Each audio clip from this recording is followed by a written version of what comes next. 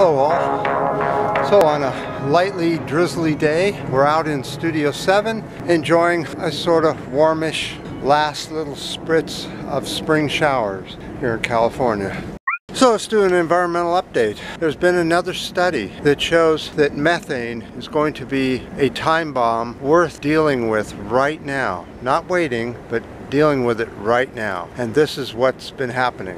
So these scientists are comparing CO2 to a catastrophe, but they're comparing the new methane threat as an apocalyptic episode waiting to happen. They say that it looks like it's going to happen, it's just a matter of time. What am I talking about?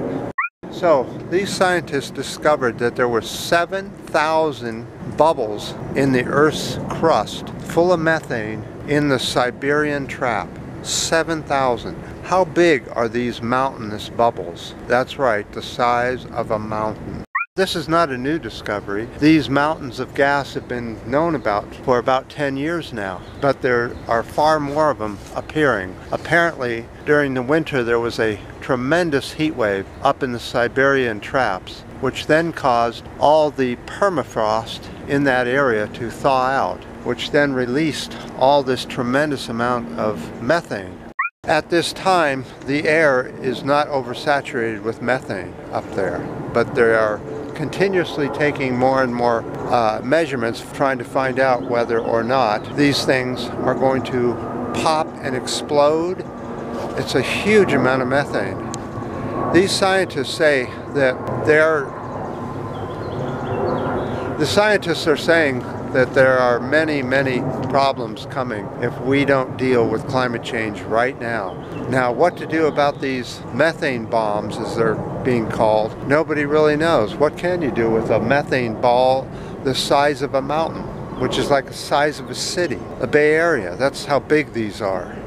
The uh, scientists that, that, did the study are comparing it to 250 million years ago during that apocalyptic event, which they think was the releasing of a huge methane explosion, which wiped out 90% of all life. It nearly wiped out all trees, about 75% of all large mammals, and about 85% of all sea creatures were all decimated.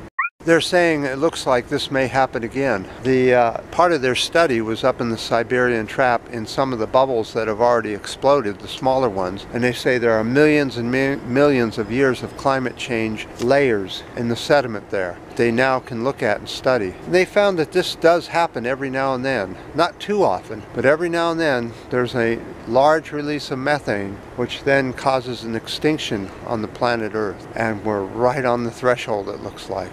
And let's not forget that methane has 85% more greenhouse gas effects than CO2. It's just shorter lived. But in the time scales we're talking now, you might as well just have it live as long as CO2.